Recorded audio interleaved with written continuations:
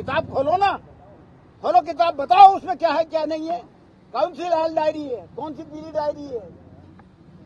सब सब फैब्रिकेटेड बात है सारी फैब्रिकेटेड बात है। डायरी वाला किस्सा बताया जा रहा है ये भारतीय जनता पार्टी के साथ मिलकर के ये षड्यंत्र रचा गया है। एक स्टोरी बनाई गई है कहानी बनाई गई है।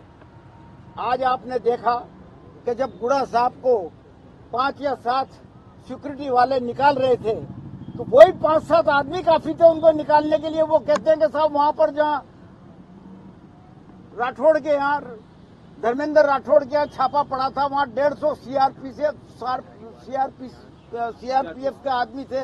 मैं उनके बीच में से निकल के आया, संभव है क्या बात? है क्या संभव है कभी बात? कि डेढ़ सौ आदमी जो सीआरपीएफ के हैं, जो जवान, और उनके बीच में आप गेट तोड़ करके निकल जाओ, ये सब फैब्रिकेटेड स्टोरी है।